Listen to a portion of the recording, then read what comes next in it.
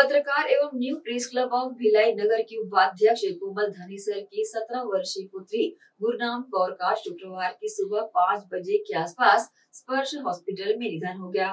उनकी अंतिम यात्रा निवास सेक्टर टू सड़क चौबीस, क्वार्टर नंबर तेरह ए से निकाली गई। इनका अंतिम संस्कार रामनगर स्थित मुक्ति धाम में किया गया।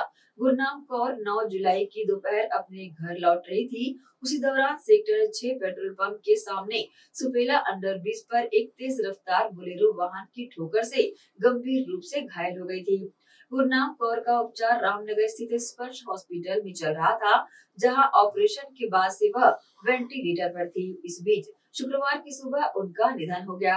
एसीएन न्यूज़ परिवार ने गुरनाम कौर को श्रद्धांजलि देते हुए ईश्वर से उनके परिवार को इस दुख की घड़ी में संबल प्रदान करने की प्रार्थना की।